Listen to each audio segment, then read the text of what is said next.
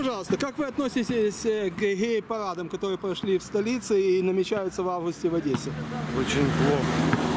Почему? Можете объяснить свою позицию? Искоренять эту нечисть. Ясно. Спасибо большое за ваше мнение.